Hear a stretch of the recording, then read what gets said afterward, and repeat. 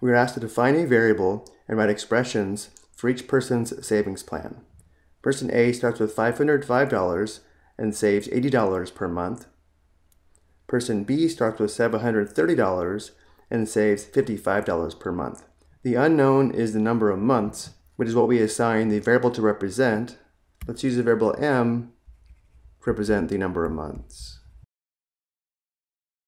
And now we need to write expressions for each savings plan.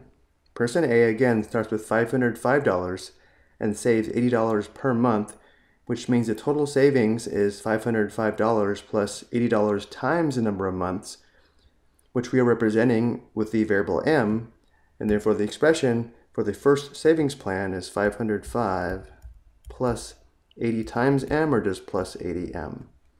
Person B starts with $730 and saves $55 per month, and therefore the expression for this savings plan is 730 plus 55m.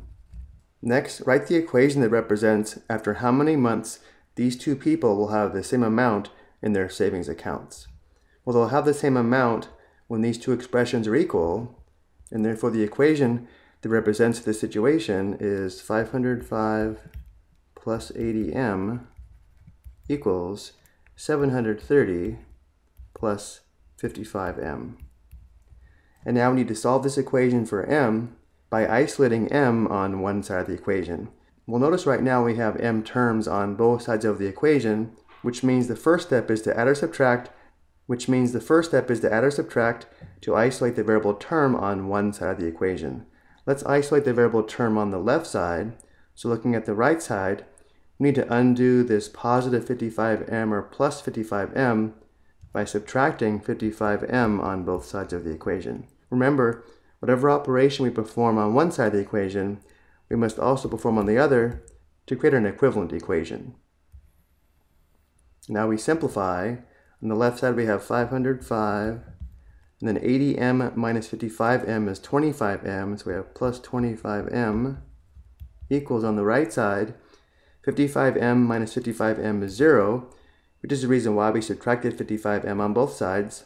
The right side simplifies to 730. We still need to isolate the variable term, which is 25m, by adding or subtracting.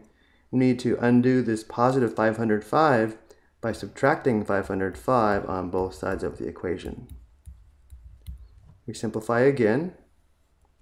505 minus 505 is 0. The left side is now 25m equals on the right side 730 minus 505 is 225.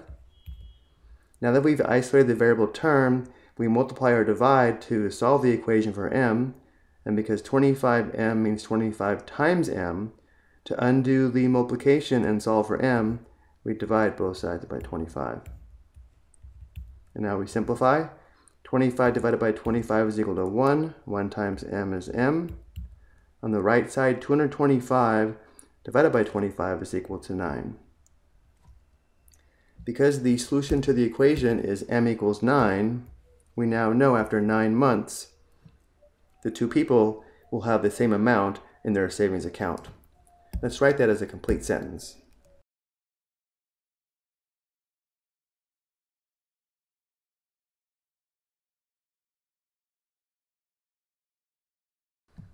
If we wanted to know the amount in the savings accounts, we can substitute 9 into either expression and we should get the same amount. Even though it doesn't ask, let's go ahead and do that. Let's evaluate the first expression when m equals 9, which is 505 plus 80 times 9, which is 505 plus 720, which is equal to 1,225. And again, we should get the same amount if we substitute 9 into the second expression as well. Let's go ahead and verify this. We'd have 730 plus 55 times 9, which is equal to 730 plus 55 times 9 is equal to 495. And the sum is 1,225. So now we know after nine months, both people will have $1,225 in their savings account. I hope you found this helpful.